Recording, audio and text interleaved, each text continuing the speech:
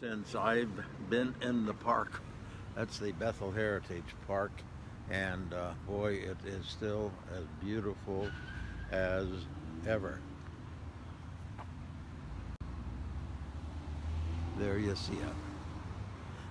You bet. Looking great. I just, uh, I did a fairly lengthy piece earlier today.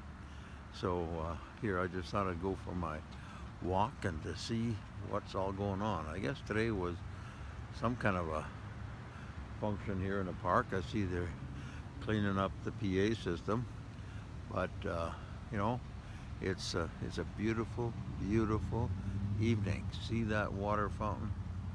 Absolutely gorgeous.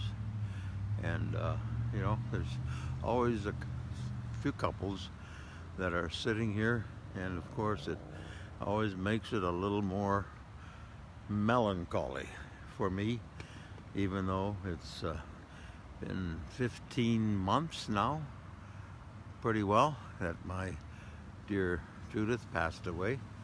And uh, well life continues.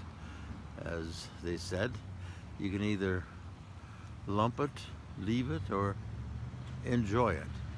I decided to continue to enjoy life even though it's different and it's harder. You got to work at it.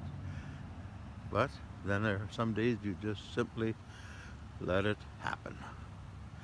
What a beautiful, beautiful evening that we've got here.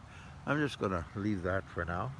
We'll be uh, back uh, tomorrow with some more reports from the Bethel Heritage Park.